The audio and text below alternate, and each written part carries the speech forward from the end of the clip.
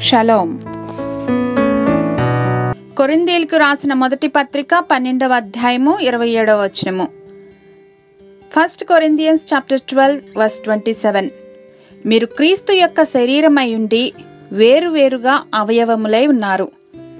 Now you are the body of Christ and each one of you is a part of it తన స్వరక్తమిచ్చి విమోచించి సంపాదించుకున్న సార్వత్రిక సంఘముపై దేవునికి ఎంత ప్రేమో మనం వర్ణించలేము. ఆ సంఘంలోని ప్రతి వ్యక్తి దేవునికి ఎంత ప్రముఖమో స్పష్టంగా తెలుస్తుంది.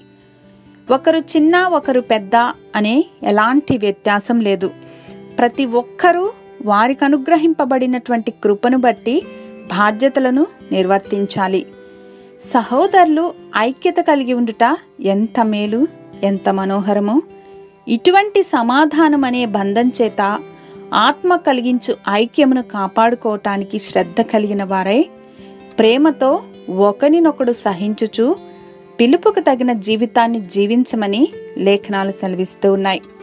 దేవా పరిశుద్ధాత్ముడు ఐక్యత కలిగి జీవించమని మాకు జ్ఞాపకం చేస్తున్నప్పుడల్లా విని విధేయత చూపిస్తూ మా జీవితాలలో యేసుక్రీస్తునందు సహోదర ప్రేమను కనపరిచే కృపను అనుగ్రహించమని యేసు నామంలో ప్రార్థించి పొందుకొని ఉన్నాం మా తండ్రి. ఆమెన్.